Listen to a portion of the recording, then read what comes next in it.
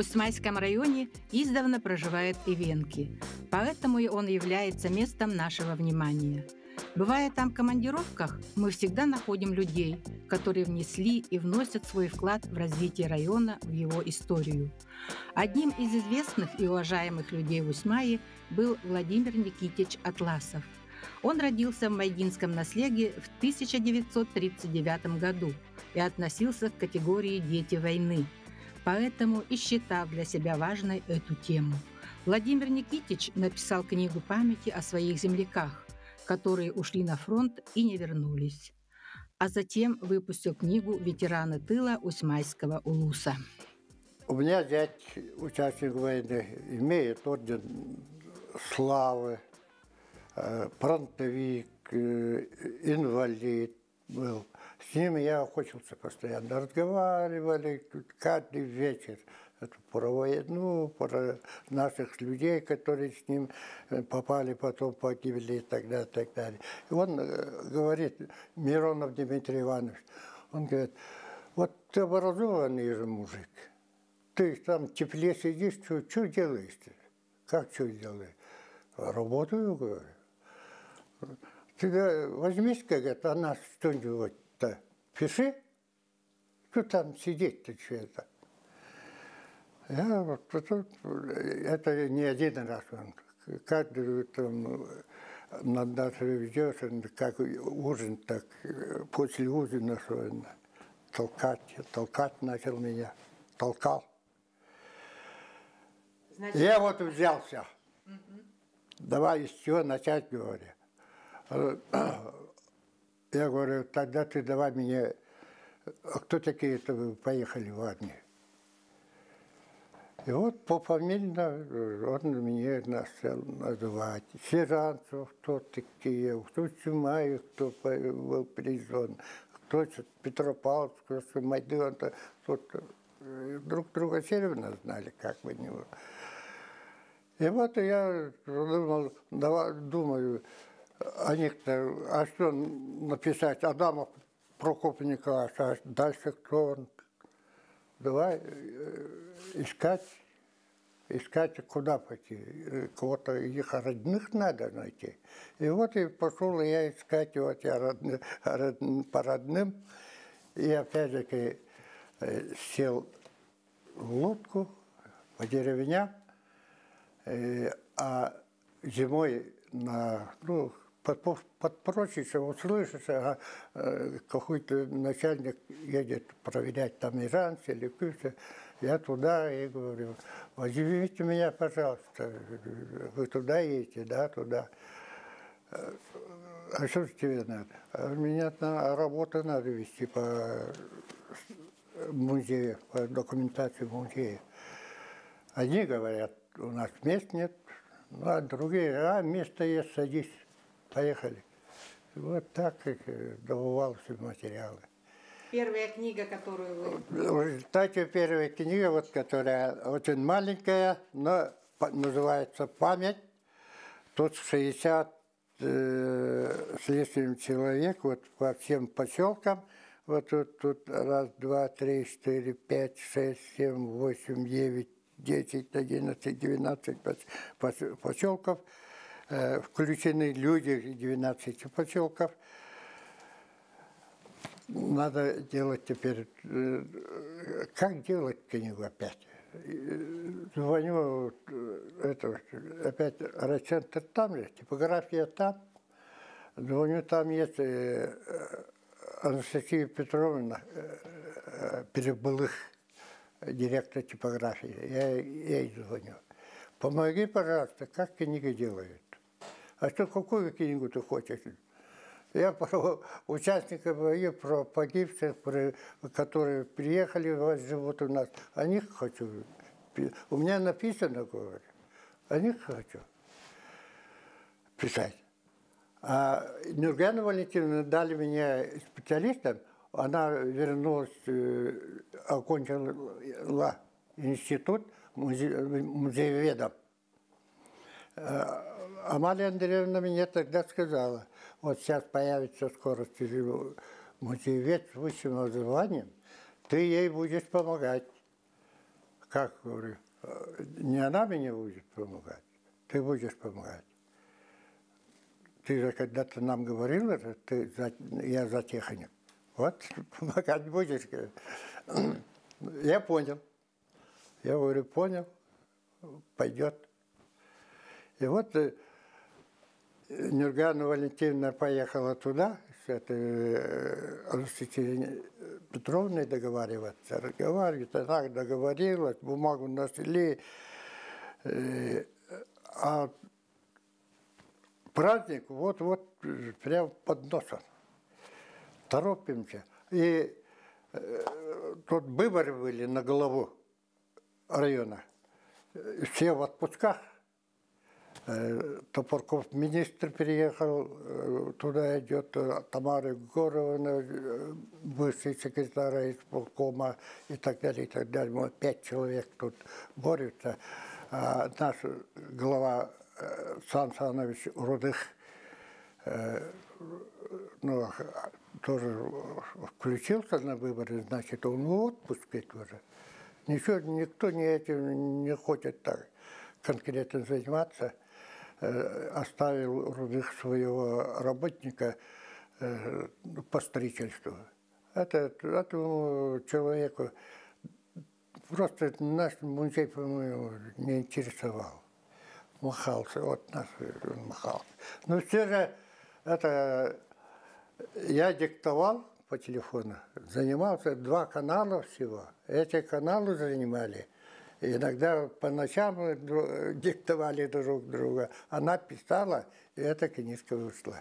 И Анастасия Петровна, директор э, типографии, сейчас их объединили же. Она и сейчас работает. Пошла на встречу, и бумагу всю бесплатно, вот, хоть, хоть маленький, но все равно расходишь для них. Э, краска, все, бумага, все вот она, она при помощи э, прибылых, она с Усерданского района, по-моему. Так, это значит первая книга. Первая книга. Так. Это первая так. книга датируется 1995 годом. Ага. А дальше что пошло, как работа пошла? Ну, дальше? Решили Это мало, совсем мало. Люди начали уже э, жаловаться, писать, что такое. Того-то забыли, этого-то не взяли, что, что такое. Вот. Мы разговаривали, разговаривали, потом я Валентин, э, это, а, а, фу, Амалия Андреевна говорю, давайте э, а участников все начали, начала, начали выходить такие республиканские книга «Память». Там глубоко и э, обширно охватывает наших людей. Мы, я уже, у нас одна первая книга поступила, мол, смотрю, давайте, а у нас же колхозники были же, здесь работали, давайте о них будем писать. И вот ветераны, они, она согласилась. Это первая книга, э, она вышла, вот как она сейчас сказала,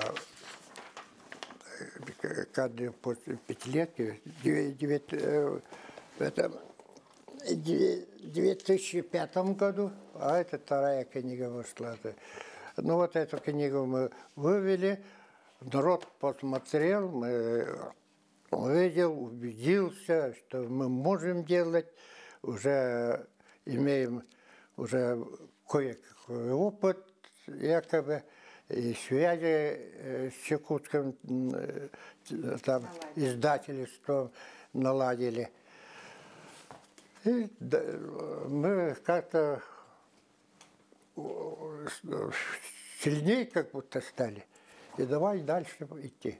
Нам же, опять-таки, наши эти бывшие сельхозники, ну, колхозники, а в настоящее время работники совхоза себя начали считать рабочими, ну, все равно сельчане. Э, говорят, того-то пропустили, это-то пропустили. И сейчас говорят, сейчас говорят. И вот, вот в 2010 году, году мы подготовили материал эту, эту книгу. Вот в 2010 году э, вывели, э, выпустили эту, эту книгу. Энтузиасты Петропавловского отделения э, выпустили книгу вот в 2010 году, в 2010 году, ага, «Помним, гордимся, благодарим» о участниках э, Великой Отечественной войны. Вот, вот и списки. Они, и, и ветераны тыла здесь же. Вот они ковали победу, здесь о ветеранах тыла. Они вернулись с победой, участники войны. Они погибли в полях сражений, ну это уже понятно. Это их земляки именно из Петропавловского? Именно Петропавловского наслега. Угу. Петропавловского наслега. Ну, кюбские э, товарищи кюбского наслега, ну, выпустили э, память тоже, э, в переводе же.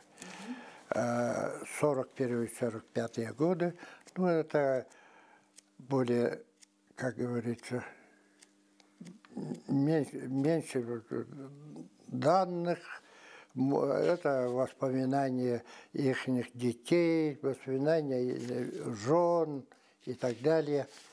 Но все, все равно, равно память, все равно, все равно память э, о своих фронтовиках. На слегах есть сейчас памятники, конечно. Есть э, вот по Майде мраморный, мраморный памятник стоит, майдинцы сделали своим участникам войны, погибшим и вернувшимся. Э, кубейские сделали очень хороший стеллу, еще собираются делать, но таких э, селениях, как Бергачи, даже Мильдар, можно включить, славенько вот, работают. Работают они, и мы туда действительности славенько, не постоянно бываем. Надо их э, постоянно бывать и будить. Вот тогда работают люди. Работать надо с молодежью, э, как э, раньше при советской власти тема патриотического воспитания была очень сильная. Эту работу мы как-то ослабили. Сейчас молодые люди некоторые, не некоторые, многие, можно сказать, не знают, кто был главнокомандующим, кто был верховным командующим, какие э, полководцы жили в то время, вели э, борьбу с нашими противниками – не знаю. Потом учебника, оказывается, их нету. Угу. Нету. Так что вы конкретно предлагаете? Что нужно делать, чтобы молодежь все это узнала, помнила и как бы продолжала вашу работу? Вашу их, и других. Их учить надо, учить. Молодежь самих учить надо, чтобы они, когда сами будут э, искать эти материалы, находить, Э, и так далее, они сами вольются в это, ну, как говорится, движение. Эти памятные книги Владимир Никитич написал, когда работал директором Усьмайского краеведческого музея. И это был очень важный факт в его биографии. А вообще-то Владимир Никитич был специалистом сельского хозяйства. Проработал в этой отрасли много лет, но случилось так, что в 90-е годы когда стали распадаться совхозы, он остался без работы. И тут ему неожиданно предложили принять на себя заведование историческим музеем, который как раз в это время остался без руководителя. Согласился и стал, это в 90-м году, э, там э, считал, назывался заведующий, потом директор, директор. И вот я начал заведовать этим хозяйством, никого нет, один. Э, у меня помощник одна книга в музее СССР книга была. Вот это единственный помощник был, куда я постоянно каждое утро заглядываю, смотрю, кручу. Музей тогда был историческим. Э, Меня подталкивали, и я сам к этому э, стремился, но не знал, как, с чего начать краеведческим музеем делать. Музей краеведческим, переформулировать этот музей, как проформулировать. Э, Якут звоню, э, у меня вообще денег нет, не, не по связи, ничего, денег пока нет. И так, ну, я начал собирать предметы, вещи. У меня лодка была, бензин тогда 7 копеек всего литр. Я покупаю, сажусь лодкой и по деревням. И по Майе, и по Алдану, ве- низ по Алдану, и вверх по Алдану. Ну, э, как будто мне пок- показалось, как будто я все же что-то доб- добыл, достал. Я начальнику управления звоню, э, вот так-то, так, у меня же много вещей стало. Приезжайте, помогите, как делать, с чего начать. Э, Ну, вчера э, никого не, не было, э, специалистов. Читай, учись. А Я говорю, читаю, учусь, но там же термины какие-то, эти термины тяжелые, трудные воспринимаются. Да, и вот Вот когда вы вещи собирали сами, ездили, говорите, вниз, вверх по Алдану, как вообще народ отнесся к этому вашему э, занятию? Они охотно сдавали вещи или специально? Доброжелательно. Ни один человек не сказал, что платили что-то. Все это добыто бесплатно. Все бесплатно давали. Что, что я увижу, например, хамха увидел, я у хозяина прошу, «Ну, у тебя может быть лишнее это. Он говорит, нет, это я езжу эти дни на нем. Ну, что тебе надо? А мне вот он заинтересовал этот халка, я хочу иметь это халка в. Э, У меня есть, говорит, там на базе. Я, говорит, потом дам. Вот так.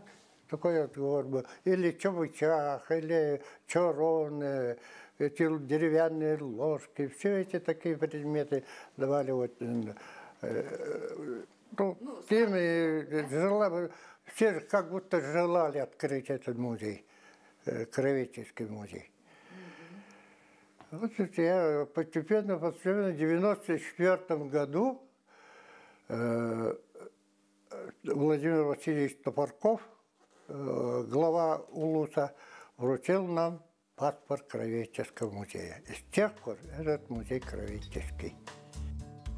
Где бы ни работал, Владимир Никитич всегда относился к своему делу очень ответственно, вникал во все подробности своей работы, вкладывал в нее всю душу, поэтому все у него и получалось. Трудолюбие, ответственность, добросовестность, внимательность и дружелюбность – все эти качества, которые помогали Владимиру Никитичу в любой работе, были заложены поколениями предков Эвенков. Наши родители были э, сельчане, колхозники. Отец колхозник организовал один х- колхоз Ивенкийский. Потом э, по семейному обстоятельству он попал на второй колхоз. Э, Годы войны до, 40 до начала 44 года он председательствовал в том колхозе, куда он попал. Затем его все же пригласили работать на том колхозе, где он организовал. По мае. Ага. Колхоз имени э, Красная Сила. Назовите, как его зовут-то отца. Атласов Никита Васильевич. Он необразованный, учился где-то три месяца у Боярова в советской народной школе. И отец его, приезжая, э, ну, дал э, задание почитай-ка, он почитал, «На- напиши-ка, он написал, все, ты образованный, э, дома работы много, поедешь со мной домой. И так он увез его домой, э, учеба его этим и кончилась.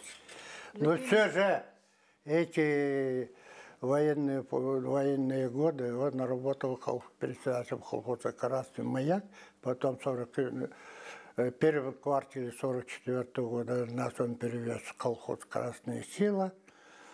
Там председательствовал по 49 год. Э, ну, послевоенные годы и тяжелые послевоенные установления народного хозяйства в нашем наследии. А затем э, э, еще выше колхоз по мае был колхоз «Красный охотник», председатель его фронтовик, он при, прибыл с ранением, и 40, к концу 48 -го года Данилов Егор скончался ну, от, от ран, перенесенных года, года войны на Западном фронте. И моего отца перевели в тот колхоз. На третий колхоз, он уже попал в третий колхоз, 49 и 51 годы он там председательствовал. Ну, я к этому времени окончил четыре класса э, Майдинской начальной школы. Э, надо было учиться дальше. Э, в то время дальше э, Майдинская школа, Киевская школа, э, детей отправляли в Ижанскую семилетнюю школу. Но я туда, туда не захотел. Ну, не поехал, ну, неохота было ехать туда раньше. И вот сейчас я благодарен душе отцу, что он же добился освобождения от колхоза и пере, о рассвете, и переехал жить в Устюмаю, поселок Устюмаю, в 51 году, то, в том веке, чтобы учить меня. Оказывается, все же хоть необразованный, но, оказывается, он думал, что человека ставить, поставить надо на ногу. Я так в Симайской средней школе окончил 10 классов и был призван в армию.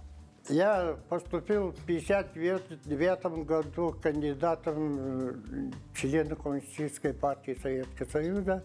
Через год приняли меня членом – Закончил советскую партийную школу в конце августа 1964 года и вернулся в район.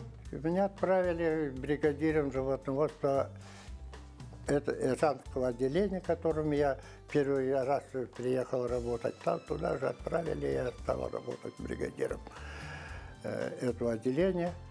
Ну, и проработали? Э, проработал по 60, до конца 65 -го года. В 65 году меня перевели в Кюбское отделение. Там я работал бригадиром, там я работал за техником. Я там э, получил специальность за техника. Среднего образования, правда. Вот так там работал. Владимир Никитич был хорошим семьянином. С супругой Марией Ивановной прожили долгую счастливую жизнь, вырастили детей, внуков. Владимир Никитич внес большой вклад в историю и района, и в историю Ивенков тем, что своими книгами увековечил память о земляках-фронтовиках и ветеранах тыла, оставив этим память и о себе в сердцах благодарных потомков –